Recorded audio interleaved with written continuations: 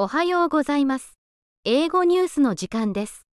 2023年6月17日の英語ニュースと日本語訳をお伝えします。それでは、最初のニュースはこちらです。Solar Foods Microbial Protein now available at one restaurant. ソーラーフーズの微生物プロテインがあるレストランで販売開始。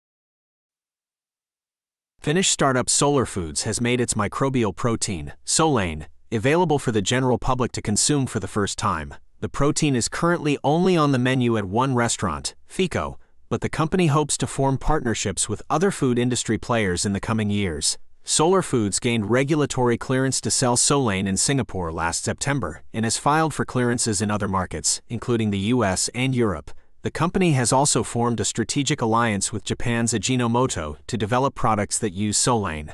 Unlike other alternative protein makers, Solar Foods does not involve any agriculture in its production process.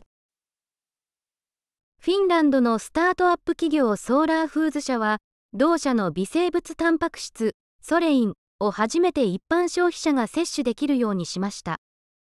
このタンパク質は現在、レストラン、フィーコ の1店舗でのみメニュー化されていますが、同社は今後、他の食品業界関係者とパートナーシップを結びたいと考えています。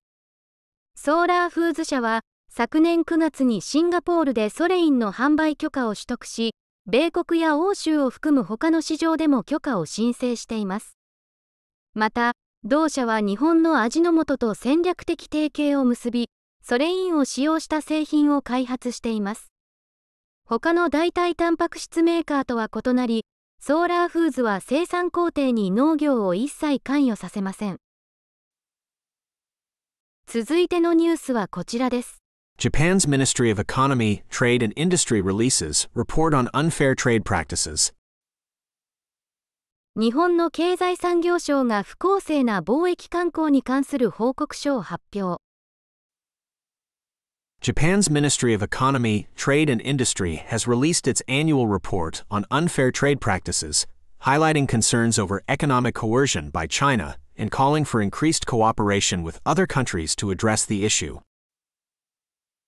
日本の経済産業省は、不公正貿易慣行に関する年次報告書を発表し、中国による経済的強制への懸念を強調します。この問題に対処するために、 他国との協力関係を強化するよう呼びかけました。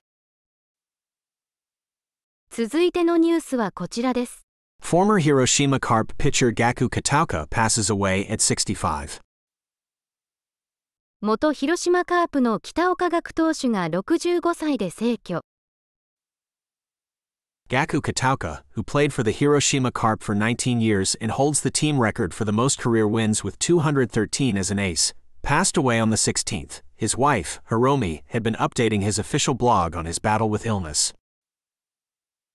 広島カープで19年間プレーし、エースとして213勝の球団最多勝記録を持つ北岡学さんは16日に亡くなりました。妻のひろみさんは闘病中の様子を公式ブログで更新していました。That's all we have for today. 本日のニュースはこれで全てです。それでは良い一日をお過ごしください。